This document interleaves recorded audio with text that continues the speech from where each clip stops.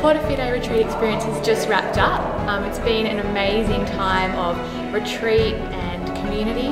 It's been amazing seeing so many teachers really encounter that call once again um, of what being an educator really means, that they're an educator and a formator, um, a counsellor, um, but most of all, they're really responsible in bringing the love of God to their students. And we've seen over the past day so many teachers just reconnect with that call, and it's just such a privilege to be in this work. Um, it's been an amazing and blessed retreat. As a person who's just finished the Porta Fidei, Fide, it was fantastic. I recommend it to all, all teachers out there who just need to take a little bit of time out, especially if you're an RE teacher, take a little bit of time out and just reflect on your, your role as a teacher in the school. And you know, it's a, it is a serious vocation, and uh, just to recharge your little bat, your batteries a bit. And also for anyone that's involved in youth ministry or any other ministry roles in the name of Jesus in schools, thoroughly recommend it. Eucharist with the community of um, more than believers, I think Eucharist with a community of people who are uh, drawn um, to being in communion with each other. Uh, that's that's pretty amazing. That was good. Yeah.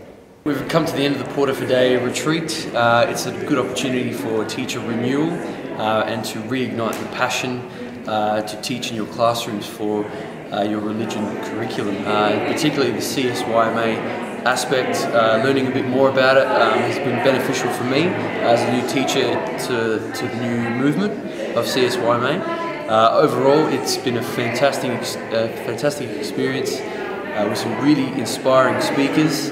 Uh, and I'm going to take a lot of beneficial things back to me, to my local school, uh, from this retreat. So I'd like to thank everyone involved, and it was a great job, so well done. The best thing I got out today was actually to network with other young, vibrant, practicing Catholics, um, and actually feel that I wasn't the only one out there and battling it out in the battlefields with students. And yeah, it was, the personal sharings was great to actually hear someone else struggling with the same things and seeing things in out of the same perspective.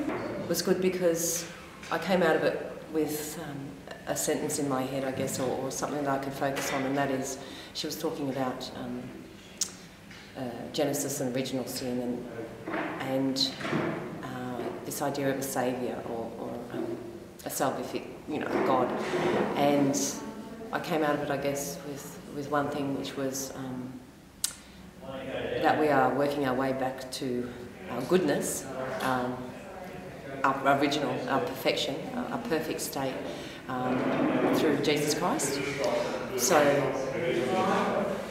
for me, that gave me some food for thought, um, something to think about, and um, I think it's important for us um, as individuals to to ruminate on on these concepts that are quite difficult, um, and at least to come out with some focus. So it's given me, it gave that session gave me something um, quite concrete to focus on, um, which was really helpful, especially um, when you're in a classroom and uh, you really have to be quite sure about the information. Um, you talk, and you have you yourself have to think about it. So um, that's that's definitely what that first session gave me some time to think.